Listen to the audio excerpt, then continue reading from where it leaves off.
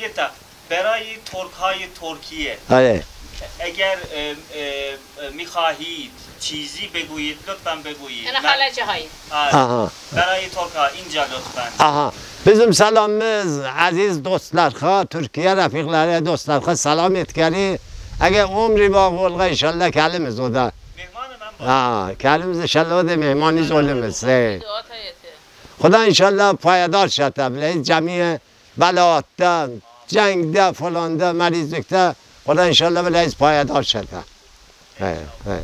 İnşallah. Hay kısmet olga inşallah kelimiz o da hizmet etsin.